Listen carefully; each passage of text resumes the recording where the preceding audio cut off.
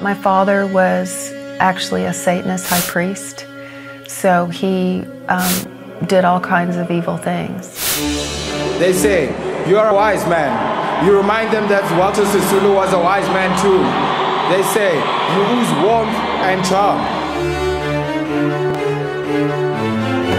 Something strange is going on which has multiple layers of information and disinformation in the mainstream media. We must ask the question of what is really revealing itself in this untouchable world of the elite's power struggle in which we are spectators to.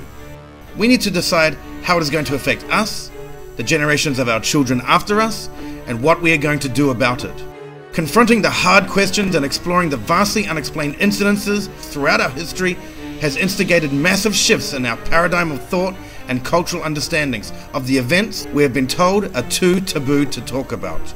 We must address the physical, metaphysical, psychological, and spiritual aspect of our true history. We must ask how much science is being used to instigate and explain these incidences, and to ask ourselves is this all really just another layer of an ever increasingly elaborate, dark Illuminati hoax?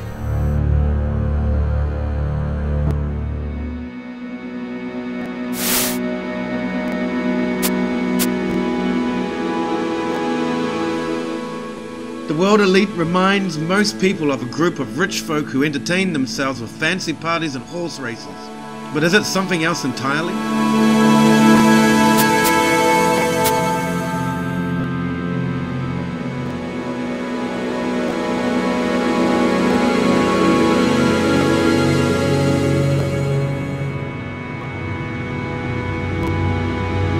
Are we being fooled into believing that the Illuminati control the world?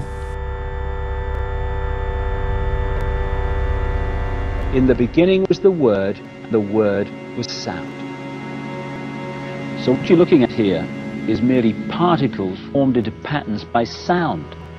Um, they were all over the place to start with, just in random positions on the plate. As soon as the sound appears, they form into these patterns because um, everything is sound, and it is sound that turns uh, matter and energy into form. Have we been hoaxed into thinking we are in the end times? Get ready to read all these words on this page without making a mistake. Look at the letter at the end and remember the sound it makes. Get ready. Kite. Yes, kite. Get ready to read this word the fast way. Get ready. Kid. Yes, kid. Sound it out. Get ready. Kid. Sound it out. Get ready. What word? Kid. Yes, kid. Boys and girls, sound this word out. Get ready. Seal. What word? Seal. Yes, steal. Read these words the fast way. Get ready. Play. Yes, playing. Get ready. Must. Yes, must. Let's read these words the fast way without making a mistake. Get ready. Kite. Yes, kite. Get ready. Kit. Yes, kit. Get ready. Seal. Yes, steal. Get ready. Play. Yes, playing. Get ready. Must. Yes, must. Boys and girls, speak your reader up from under your seat. Open your book up to lesson 60 on page 153.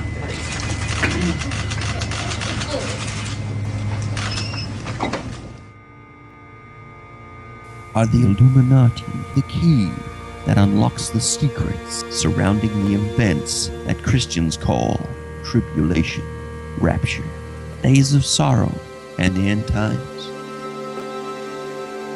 Hear me and make all spirits subject unto me, so that every spirit of the firmament and of the aether, upon the earth and under the earth, on dry land and in the waters, of whirling air and of rushing fire, and every spell and scourge of God may be obedient unto me. Have the ancient mysteries from the days of Babylon resurfaced to fulfill magical prophecies, proving religion has been engineered by wise sages of the past in order to maintain social control throughout the ages? The Prince of Earth brings the blessing of heaven, the golden seminal sacrament of life unto the celebrants of its ancient rites. And such is the mystery of the Holy Grail.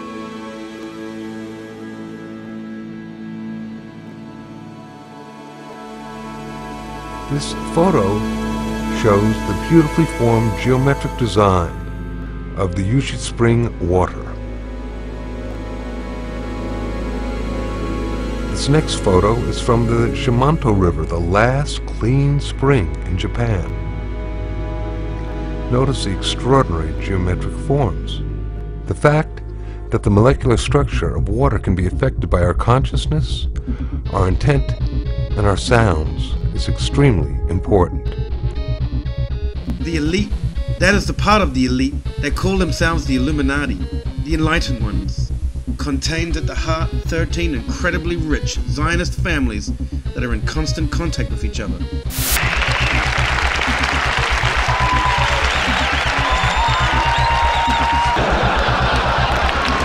Say, uh, we're discussing business ethics. Yes, no wonder we couldn't hear anything over here. Many of us that weren't total witches have to be witches now in order to produce music. The master is a tape about as big as the top of this podium that looks like an overgrown 8-track that the album is cut on and is placed in a machine that produces and presses the records and the 8-tracks and cassettes that you buy. After it's been recorded, it's taken in. This is why a master is cut months in advance before it's released.